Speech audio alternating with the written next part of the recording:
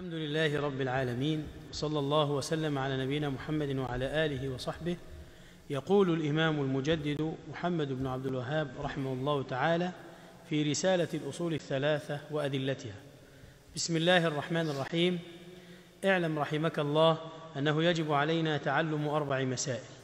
الأولى العلم وهو معرفة الله ومعرفة نبيه صلى الله عليه وسلم ومعرفة دين الإسلام بالأدلة. الثانية العمل به الثالثة الدعوة إليه الرابعة الصبر على الأذى فيه. والدليل قوله تعالى بسم الله الرحمن الرحيم والعصر إن الإنسان لفي خسر إلا الذين آمنوا وعملوا الصالحات وتواصوا بالحق وتواصوا بالصبر. قال الشافعي رحمه الله تعالى لو ما أنزل الله حجة على خلقه إلا هذه السورة لكفتهم. وقال البخاري رحمه الله تعالى باب العلم قبل القول والعمل. والدليل قوله تعالى فاعلم أنه لا إله إلا الله واستغفر لذنبك. فبدأ بالعلم قبل القول والعمل. اعلم رحمك نعم. الله. نعم. الحمد لله والصلاة والسلام على رسول الله أما بعد. ففي ليلة اليوم السابع عشر من شهر محرم لعام أربع وثلاثين وأربعمائة وألف من هجرة النبي صلى الله عليه وآله وصحبه وسلم ألتقيكم في تعليقات على متن ثلاثة الأصول. هذا المتن وهو ثلاثة الأصول يراد به الأصل الأول معرفة الله ثم معرفة نبيه صلى الله عليه وسلم ثم معرفة دين الإسلام بالأدلة. والإمام رحمه الله تعالى أتى بهذه الأصول الثلاثة وثلاثة الأصول ذكرها إجمالا ثم ثم فصلها بعد ذلك. وقبل رسالة ثلاثة الأصول ذكر رحمه الله تعالى مسائل أربع. ثم ذكر مسائل ثلاث ثلاثا. ذكر مسائل أربع ثم مسائل ثلاثا. هذه المسائل الثلاث ثم المسائل الأربع. يحتمل ألا يكون الشيخ الإمام المصنف المجدد هو الذي ألحقها بالأصول الثلاثة. قال الشيخ ابن قاسم رحمه الله تعالى في حاشية ثلاثة الأصول قال يحتمل أن بعض تلاميذ المؤلف ألحقها بالأصول الثلاثة وليس جزما لكنه محتمل. وأيا كان وضعها الإمام المصنف أو لم يضعها الإمام المصنف من المهم دراسة هذه المسائل الأربع ثم دراسة المسائل الثلاث ثم ثلاثة الأصول التي هي المقصد. والمسائل الأربع مبنية كما سمعتم أو المسائل الأربع هي كما سمعتم المسألة الأولى العلم والمسألة الثانية العمل بهذا العلم والمسألة الثالثة الدعوة إليه والمسألة الرابعة الصبر على الأذى فيه هذه هي المسائل الأربع وهي سهلة للغاية واستدل الإمام المصنف رحمه الله تعالى عليها بسورة العصر قال سبحانه والعصر إن الإنسان لفي خسر أي في هلاك إلا من إلا من جمع هذه الصفات والمسائل إلا من جمع هذه الصفات والمسائل الأربع. الأولى العلم لما قال إلا الذين آمنوا ويراد به العلم. والثانية العمل به إلا الذين آمنوا وعملوا الصالحات. والثالثة الدعوة إليه إلا الذين آمنوا وعملوا الصالحات وتواصوا بالحق أن ينصح بعضهم بعضا يستوصي بعضهم ببعض في الحق. وهذا هو الدعوة. والمسألة الرابعة وتواصوا بالصبر أي صبروا على تبليغ والدعوة إلى الله سبحانه. هذه هي المسائل الأربع التي ذكرت قبل الأصول الثلاثة وقبل المسائل الثلاثة. ثم أتى بكلمة الشافعي وسنرجع إليها إن شاء الله تعالى. لكن المصنف رحمه الله تعالى ذكر الأولى العلم. والمراد بالعلم إذا أطلق في الكتاب والسنة المراد به مدحا العلم الشرعي.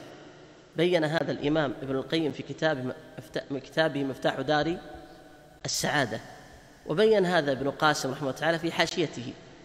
العلم إذا أطلق يراد به علم الكتاب والسنة وهو الممدوح وهو الذي أرسل الله به محمدا صلى الله عليه وآله وصحبه وصحبه وسلم.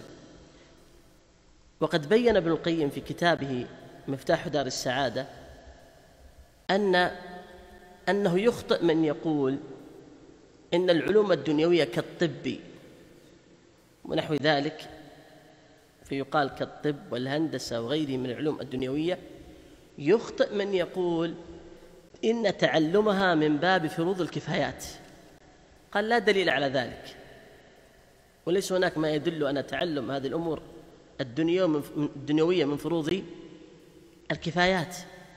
قارن كلام الإمام ابن القيم هذا بغلو أهل عصرنا في هذه العلوم الدنيوية في علم الطب والهندسة ونحو ذلك بل بعض الطيبين والصالحين تأثروا بما يعيشون فيه من مجتمع فصار عندهم غلو في ذلك. إما أرادوا رفعة دنيوية وهذا هو العلو في الأرض أو أرادوا مصلحة دنيوية بكثرة مال وغير ذلك. وما يدري العبد أيهم الموفق ومن يفتح له في دنياه؟ ويفتح له في آخرته. فإن معول الأمور على توفيق الله لعبده وليس من فتح له في دنياه قد أراد الله به خيرا. قد تكون فتنة قد تكون فتنة له في دينه الذي من أجله خلق وقد تكون صارفة له عن دينه. فكم رأينا شبابا متدينين دخلوا هذه التخصصات ومع مرور الأيام تغيروا في دينهم واستقامتهم. بسبب من يعاشرون ومن يعاشرونهم يدندنون على أمور الدنيا فامتلأ القلب حبا للدنيا. أسأل الله أن يخلص قلوبنا برحمته وفضله من, من الدنيا وأن يجعلها متعلقة به وبدار كرامته إنه ولي ذلك الرحمن الرحيم. فالمقصود أن من الخطأ الآن غلو الناس في مثل هذا. حتى إن بعض الناس يقول ينبغي للطالب الذكي أن ينصرف إلى هذه التخصصات الدنيوية وهنا دعوة قوية من أهل الدنيا ثم تبعهم أهل ثم تبعهم بعض ثم تبعهم بعض المتدينين وصار يدعو الناس إلى إلى أن الأذكياء وأصحاب الهمم العالية ينصرفون إلى علوم الدنيا. وبعضهم قد يكون له مراد حزبي وهو أن يسيطر على جميع الأمور يسيطر على أمور الدنيا وعلى أمور الدين حتى يصلوا إلى المجتمع في بث حزبيات وغير وغير ذلك. وكله بزعمهم باسم خدمة الإسلام ونشر الدين إلى غير ذلك.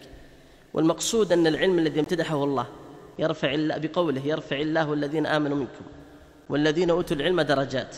وامتدحه النبي صلى الله عليه وسلم كما في الصحيحين من حديث معاوية من يريد الله به خير يفقهه في الدين المراد بذلك علم الوحي الذي قال الله فيه ولئن اتبعت أهواءهم من بعد ما جاءك من العلم إنك إذن لمن الظالمين وهو العلم بالله وبدينه وبما جاءت به رسله وبما يريده الله منا في كتابه وفيما أوحاه عن نبيه محمد صلى الله عليه وسلم من سنته. هذا هو هذا هو العلم الذي ينبغي أن نتسابق فيه واعلموا والله يا إخواني إن من فتح عليه في هذا العلم والله لو كان أفقر الناس فإنه من أحسن الناس حالا. لأنه قد امتلأ قلبه بتقوى الله وبدينه والدنيا سريعة الأيام والانقضاء. انظر إلى عمرك الآن. انظر إلى عمرك كم مضى منه في هذه العجالة السريعة وكم سيمضي منه في المستقبل وكل بحسب ما قدر له. فاقبلوا على الله وعلى دينه وعلى تعلمه مع إحسان الظن بالله فمن قدر له شيء من الدنيا والله لا يأخذنه. ومن لم يقدر له شيء من الدنيا فلن يأخذه لو فعل فلن يأخذه ولو فعل ما ما فعل. المهم أن تشتغل بما خلقك الله من أجله. أسأل الله أن يجعلني وإياكم من المتسابقين في ذلك. وينبغي أن نبث بين الناس وأن نحثهم على أن يحثوا أولادهم وأن نحث الشباب على على التسابق على طلب العلم الشرعي حتى نفوز برضا الله سبحانه وتعالى. ولابن تيمية ولابن تيمية كلام عظيم في مجموع الفتاوى. قال لما فتح على المسلمين في هذه العلوم ضعفوا وتأخروا ولما كانوا قبل مشغولين بعلوم الدين وفي التسابق في نشر الدين وتعلمه والجهاد وكانوا ضعفاء في هذا الباب كان الإسلام منتشرا وقويا ولم تدخل فيه البدع. بل مما ذكر ابن القيم رحمه الله تعالى وأظن ذكره أيضا ابن تيمية أن كثيرا من البدع والزندقة دخلت من هؤلاء الأطباء الإسلاميين كابن سينا وأمثاله الذي سماه ابن القيم شيخ الملاحدة. كما ذكر هذا ابن القيم ذكر هذا ابن القيم رحمه الله تعالى في كتاب الشفاء العليل. فأمثال هؤلاء أدخلوا على الإسلام بدعا وزندقة وإلحادا باسم الإسلام وهم أطباء. فراج أمرهم بين فراج أمرهم بين الناس. ولو أن الطبيب لزم تخصص تخصصه ورحم الله امرأ عرف قدر نفسه ومن تكلم في غير فنه أتى بالعجائب لكان خيرا من أن أن يظن أن ثناء الناس عليه إلى غير ذلك مسوغ له أن يتدخل في أن يتكلم في أحكام الشريعة بغير علم ولا وحي ولا أخذه عمن سبقه إلى العلم. فإن العلم ميراث يتناقله كل جيل عمن قبله. أما أن يأتي من يأتي بأن يقبل على كتب فيقرأها ثم يرى نفسه ما يرى ثم يبدأ يخوض في مسائل وقد يناقش من لا علم عنده فيرى نفسه فائقا عليه فيصاب بعجب وغرور فيعاقب الله بذنبه ثم بعد ذلك يفسد في الشريعة باسم الحق. والهدى واتباع الدين إلى غير ذلك هذا هذا ذنب عاقب الله به هذا الرجل. أسأل الله أن يعافينا وإياكم ويخلصنا وإياكم مما يسخطه سبحانه. إذن العلم قال العلم هو معرفة الله ومعرفة نبيه ومعرفة دين الإسلام بالأدلة. انتبه إلى قوله معرفة الله ومعرفة الدين ومعرفة دين الإسلام. المراد بالعلم هو الوحي ليس ما عداه هذا أولا. ثانيا قوله بالأدلة. هذا يفيدنا أن ما, لي ما لم يكن مبنيا على دليل فليس علما. لذا قال ابن عبد البر في كتابه جامع بيان علم وفضله أجمع العلماء على أن المقلد ليس عالما. وقد نقل الإجماع ابن تيمية في مجموع الفتاوى وابن القيم في إعلام الموقعين وفي الكافية الشافية وأقره والناس على مراتب ثلاثة كما بين ذلك ابن عبد البر في جامع بيان علم وفضله. في في كتابه جامع بيان علم وفضله وكذلك بينه ابن القيم في كتابه أعلام موقعين. أعلى درجة المجتهد والذي يليه المتبع والذي يليه المقلد. والمجتهد من هو؟ هو الذي ينظر في الأدلة وعنده آلة العلم فيميز بين الدليل الراجح والمرجوح بآلة العلم. وأهم علوم الآلة على الإطلاق للمجتهد هو علم أصول الفقه. يمكن أن تكون مقلدا في الحديث لكن لا يحتمل من المجتهد أن يكون مقلدا في علم أصول الفقه لأنه هو الآلة. وقد بين هذا الشوكاني رحمه الله تعالى في كتابه إرشاد في كتابه إرشاد الفحول أن هذا العلم لا يقبل التقليد وأيضا ذكر هذا الرازي وذكره الغزالي وغيرهم من أهل العلم الذي هو علم أصول الفقه فهو أهم علوم الآلة على الإطلاق ويراد به العلم العملي لا لا ما أدخله المتكلمون في علم أصول أصول الفقه. فإذا أعلى مرتبة هي مرتبة الاجتهاد. تنظر في الأدلة الشرعية وترجح بينها وتبحثها وتبحث هذه الأدلة وتليها مرتبة الاتباع. تقول قال الشيخ ابن باز في هذه المسألة إنها حرام. ودليل الشيخ كذا. تعرف حكم الشيخ ودليله هذا يسمى اتباعا. وتليها مرتبة التقليد وهي ألا تعرف دليل الشيخ. تقول قال الشيخ ابن باز هذا حرام أو قال الشيخ ابن عثيمين هذا واجب أو قال الألباني هذا مكروه بدون أن تعرف الأدلة. مثل من يقول ذلك يعتبر مقلدا. وهذا ليس عالما بالإجماع. فعلى هذا لو حفظ إنسان زاد المستقنع حفظ الإنسان متن زاد المستقنع عن ظهر قلب. ففي كل مسألة يقول لك استحضر ما في الزاد ثم يعطيك الحكم. هذا يسمى مقلدا لا يسمى عالما. لأنه لا يكون عالما حتى يعرف الحكم دليله لكن ينبه على أمر مهم وهو أمر دقيق. فرق بين تقليدك لزاد المستقنع وتقليدك لابن باز أو الألباني أو ابن عثيمين أو الإمام أحمد أو ابن تيمية. وذلك أن أصحاب المتون يكتبون على الراجح في المذهب. لا يكتب ما ترجح عنده فهو, فهو يكتب لتبيين الراجح على المذهب حتى تتعلمه وعن طريقه تصل إلى فقه المذهب. لذا الترجيح ترجيحه وتعبده لله شيء وتأليفه على المذهب شيء آخر. أما الشيخ ابن باز ومن سبق ذكرهم فإنهم إذا تكلموا في مسألة يتكلمون فيما يظنونه راجحا من مسائل العلم أي فيما يظنونه مرادا عند الله. لذلك يصح لك أن تقلد هؤلاء العلماء لكن لا يصح لك أن تقلد هذه المتون الفقهية. إذن الأمر الأول العلم وهو ما تقدم ذكره. لكن يرد هنا إشكال وهو أن الشيخ وهو أن الإمام المصنف رحمه الله تعالى قال معرفة دين الإسلام بالأدلة معنى هذا أنه لا يصح التقليد في الشريعة ومنهم من يقول لا يصح التقليد في الاعتقاد. هذا ظاهر الكلام أو أصله وهذا قول أشاعرة وهو أحد الأقوال عند المعتزلة وهم مختلفون في ذلك. هل يصح التقليد في العقائد أو لا يصح؟ فيشكل على هذا أنه قال معرفة دين الإسلام بالأدلة.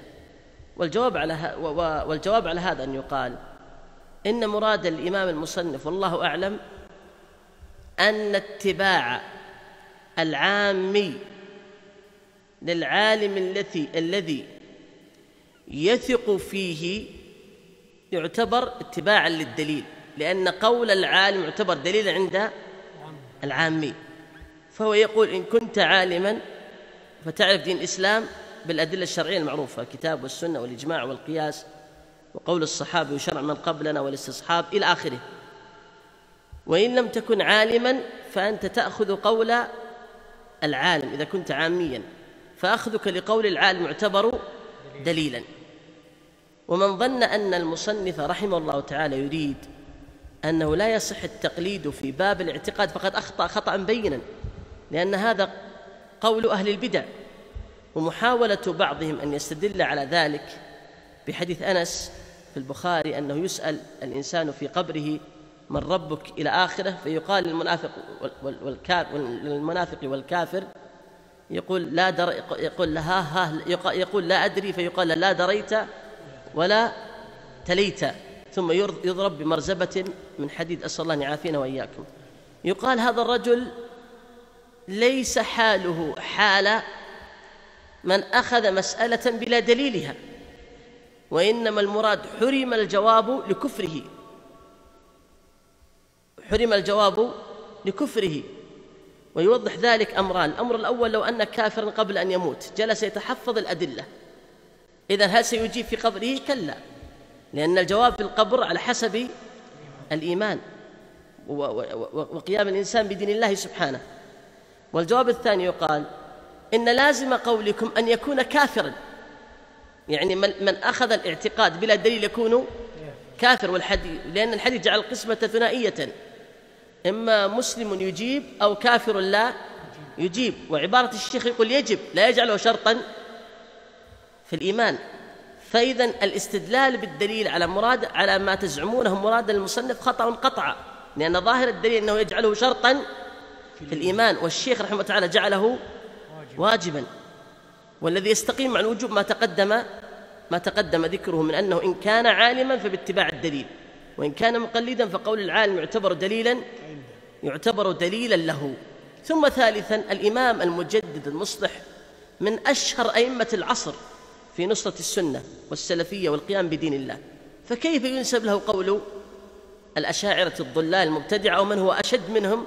أحد الأقوال عند المعتزلة. كلا ولا ولا يمكن لهذا الإمام المجدد المصلح أن يقول بمثل هذا وهو إمام مجدد ومصلح. ولو قدر أن إماما مجددا مصلحا قال بهذا فهذا يعتبر خطأ ويرد عليه كائنا من كان لأن دين الله حكم على على كل أحد.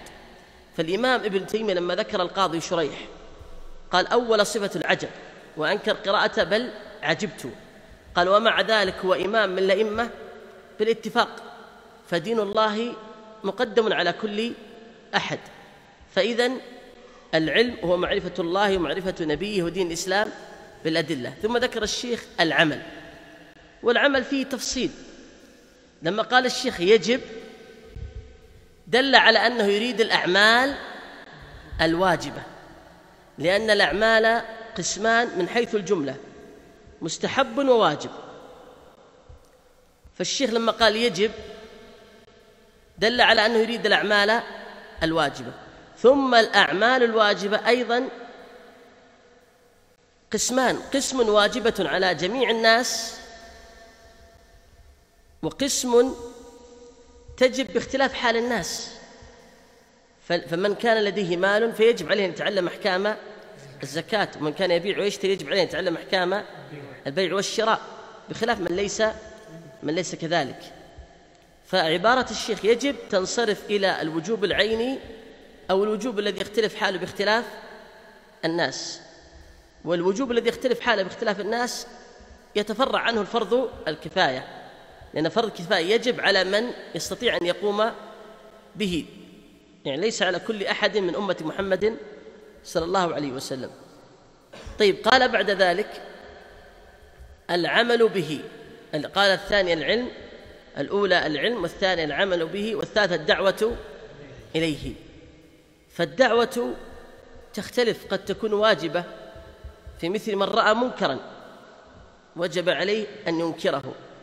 أو علم منكرا لا يستطيع أن ينكره إلا هو لا سيما إذا كان من الشبهات وفيها تلبيس على الناس ولم يقم به غيره وكان لديه آلة واستطاع أن يقوم به فيجب عليه أن يقوم بإنكاره. ومن الدعوة ما هو؟ مستحب. إذا لم يكن الأمر واجبا يجب التسابق عليه. ولشيخنا الإمام عبد العزيز بن باز رحمه الله تعالى كلام عظيم وهو قوله إن الدعوة في هذا الزمن فرض عين. لانتشار الجهل والناس في حاجة أن يعلموا لأصول دينهم. فما أكثر الجهل؟ حتى يا إخواني وأرجو أن تتفطنوا لهذا. عندنا مثلا هنا يدرس الناس العلم الشرعي. من الصف الأول ابتدائي يدرسون القرآن ويدرسون الفقه ويدرسون التوحيد. ثم بعد ذلك يترقون. فيدرسون بعد ذلك الحديث. إلى أن يصلوا إلى الصف الثالث الثانوي جميع المراحل الدراسية. يدرسون القرآن ويدرسون الفقه ويدرسون التوحيد ويدرسون التفسير ويدرسون الفقه. الحديث. يعني يدرسون خمسة يدرسون خمس مواد في الشريعة. ومع ذلك الجهل شديد جدا لأمرين. أولا بعض الناس يدرسه على أنه شيء نظام ملزوم به فلا تقبل نفسه عليه. وإن كان هذا أحسن من ألا يدرس. لكن ثانيا لانشغال الناس بأمور الدنيا. إن كان من هؤلاء الشباب فاشتغلوا بمثل الأشياء الجديدة التي أدخلت عليهم فتشغلهم عن كثير من أمور دينهم فتصبح أذهانهم مشغولة ونفوسهم متع... ونفوسهم متعلقة بكثير من التوافه من اللعب وغيرها الإلكترونية وغيرها. أما غيرهم فإنه شغل في دنياه فلذلك ينسون كثيرا من أمور كثيرا من أمور دينهم. فلذا يا إخواني الله الله أن يجتهد في تعليمهم. لا تقل إنهم تعلموا الدين. هذا يا إخواني عندنا في بلادنا وهم يعلمون الدين. فكيف إذا في بلدان المسلمين؟ الأخرى فالأمر أشد وأشد. فالله الله يا إخواني أن نجتهد تبليغ الناس دين الله بكل ما نستطيع في مجالسنا في بيوتنا نشغلهم بالعلم في اجتماعاتنا في ذهابنا وإيابنا أحيانا نجتمع إخواننا بالساعات فلنشتغل ولو قليلا في مذاكرة العلم مذاكرة الأصول الثلاثة القواعد الأربع مذاكرة شروط الصلاة أركان الصلاة وهكذا. منه أنه عبادة لله وثانيا فيه تثبيت للعلم وثالثا فيها نشر للعلم وهناك فوائد فوائد أخرى. بعد هذا الشيخ رحمه الله تعالى قال قال والصبر على الأذى فيه. لماذا ذكر الصبر؟ لأن تبليغ دين الله والأمر بالمعروف والنهي عن المنكر كثيرا ما يكون مصحوبا بمشاق لأنك تخالف ملذات الناس وأهواءهم ولأن الناس يخطون أحيانا يظنون أنك تريد علوا عليهم وهم لا يريدون أحدا أن يرتفع عليهم فيعارضونك ويحاولون أن يجاهلونك وأن ينتقصوك بكل شيء. فأنت مأمور أن تحسن نيتك ما بين حين وآخر. وأن تجاهد نفسك في ذلك. وأيضا تصبر على بلاغ الدين. لذلك قال تعالى في وصية لقمان يا بني أقم الصلاة وأمر بالمعروف وانهى عن المنكر واصبر على ما أصابك إن ذلك من عزم الأمور. قال شيخ الإسلام في رسالة الأمر والنهي عن المنكر يقول ابن تيمية وقد ذكر الصبر لأن الأمر بالمعروف والنهي عن المنكر مصحوب بمشاق وبمخالفة الناس ولا يصبر المؤمن إلا ما يرجوه من الله سبحانه وتعالى. هذا الذي يؤنسه.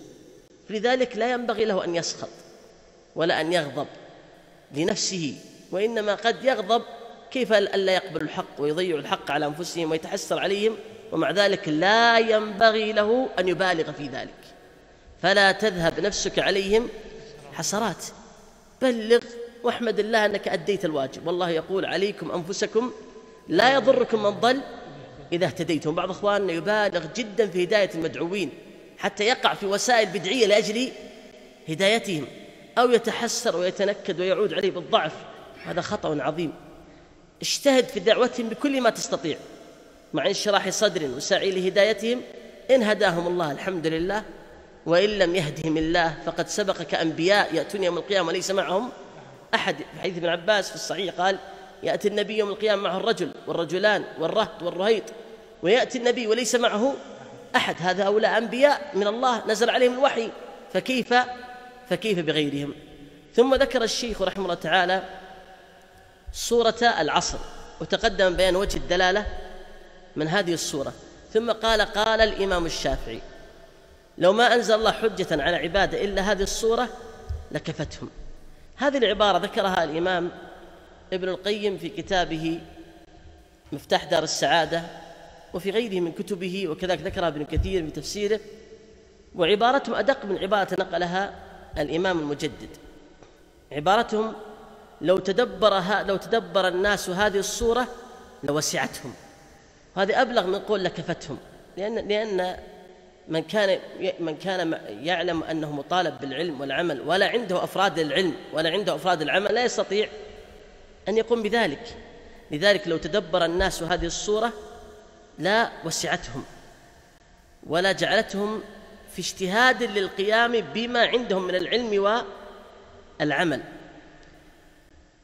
ثم ذكر الشيخ رحمه الله تعالى قول البخاري باب العلم قبل القول والعمل أي أن لابد من العلم.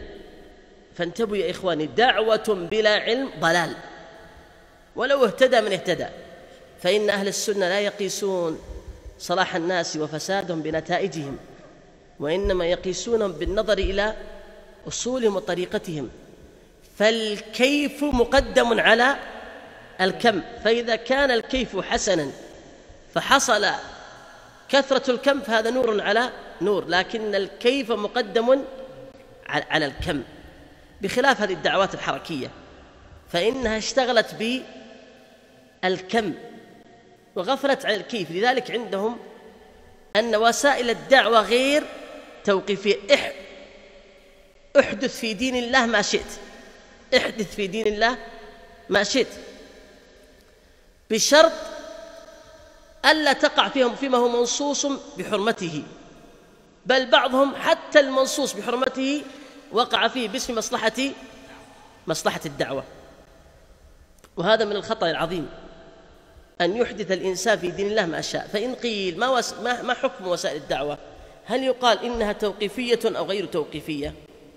لابن تيمية كلام عظيم في هذه المسألة وهو يتكلم رحمه الله تعالى عن الوسائل واستنبط منه الإمام العلامة الألباني رحمه الله تعالى مسألة وسائل الدعوة لأن كلام ابن تيمية على الوسائل عموما والألباني رحمه الله تعالى أخذ منه ما احتاج إليه وهو الكلام على وسائل الدعوة. قال ما يلي أو قال ما ملخصه. ينظر للوسيلة. إن وجد المقتضي لفعلها أي الدافع لفعلها إن وجد في عهد النبي صلى الله عليه وسلم وأصحابه. ولم يفعلوه انتبه وجد في وقتهم. ثم لم يوجد مانع يمنعهم. ومع ذلك لم يفعلوه فهذه الوسيلة وسيلة بدعية. لأن لو كانت خيرا لسبقونا لسبقونا إليه. لكن إن لم يجد المقتضي إن لم يوجد المقتضي في زمنهم. ليس هناك دافع في زمانهم. أو وجد المقتضي لكن هناك مانع يمنع من القيام بهذه الدعوة. فإن فعلنا لها بعد ذلك مع وجود المقتضي وانتفاء المانع لا يعتبر بدعة. وأنا أمثل أمثلة يعرف بها المراد. الآن تأتي إلى الإنشاد المسمى إسلاميا. تقول لماذا تنشدون؟ قال حتى نرغب الناس حتى نرغب قالوا حتى نرغب الناس الناس إلى الخير والهدى والاستقامة. تقول لهم هل مقتضي هذا موجود في عهد النبي وأصحابه والتابعين؟ هو موجود. فإن فتوحات الإسلام اتسعت ودخل في الإسلام وهو ضعيف الإيمان.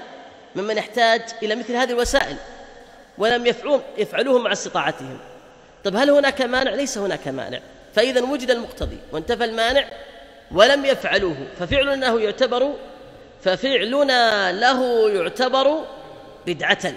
فإن قيل قد أنشد الصحابة لما قالوا نحن الذين بايعوا محمدا في في شيلهم الصخور كانوا يحملونها وينشدون في أحد. وأنشدوا أيام قال النبي صلى الله عليه وسلم رفقا أنجش بي القوارير. فيقال هؤلاء أنشدوا على وجه الإباحة لا على وجه التعبد وهداية الناس. يقول شيخ الإسلام في المجلد الحادي عشر لو قيل لأي عالم ما حكم السعي بين أي جبلين؟ الركض والمشي بين أي جبلين؟ لقال جائز. لو قيل ما حكم التعبد بذلك؟ لقال بدعة.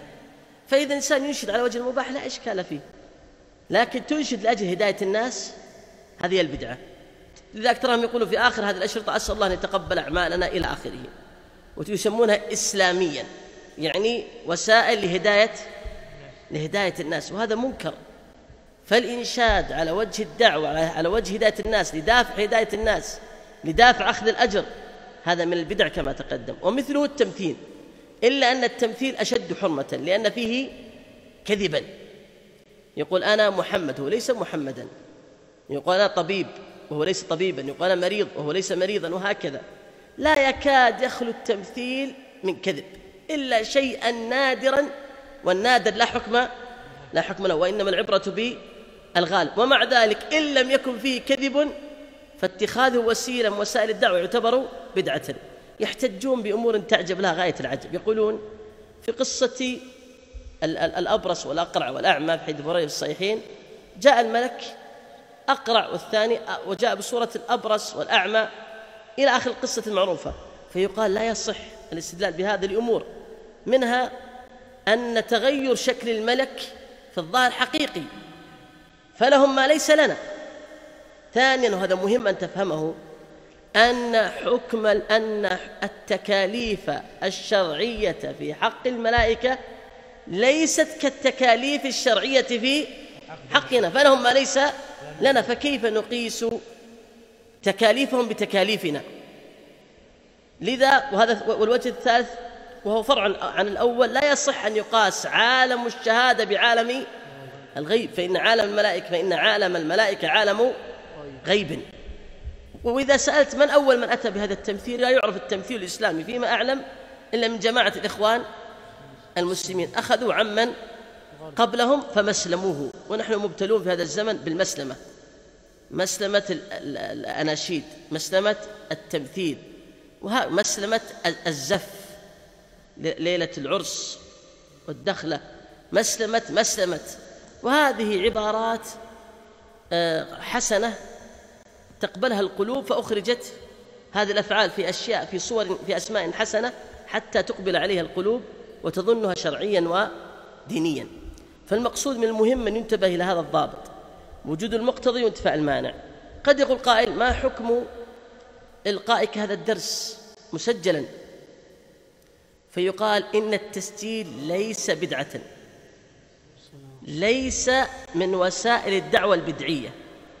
إحنا اتفقنا الآن نحن اتفقنا فيما سبق أن إن كان المقتضي موجود في زمنهم إن كان المقتضي موجودا في زمنهم والمانع منتفيا في زمانهم ففعل هذه الوسيلة بدعة. هنا يقال وسائل الدعوة توقيفية أما إذا لم يكن المقتضي موجودا في زمانهم أو كان يوجد مانع يمنعهم فلا يقال أن وسائل الدعوة توقيفية. فيقال ما حكم إلقائه عبر مكبرات الصوت ومسجلا؟ فيقال هذا ليس بدعة. لماذا؟ لأن لأن لأن هناك مانعا كان يمنعهم من فعله وهو أنه ليس موجودا في زمانهم وهو أنه ليس موجودا في زمانهم وعلى هذا فقس. هذا يا إخوان ينبغي أن تفهم أن تعرف. وللأسف ومما يتحسر له أن بعض إخواننا السلفيين الفضلاء أخذ يتوسع في هذه الوسائل الشرعية ويأتي بوسائل بدعية يريد أن يرغب الناس الخير وهذا يرجع لاشتغال بعض إخواننا بالكم. يعني أنا أقول لكم الآن توضع جوائز على حضور بعض الدروس والمحاضرات وعلى حفظ القرآن أو الأب يقول لأبنائه من حفظ كذا من حفظ كذا أعطيته كذا وكذا.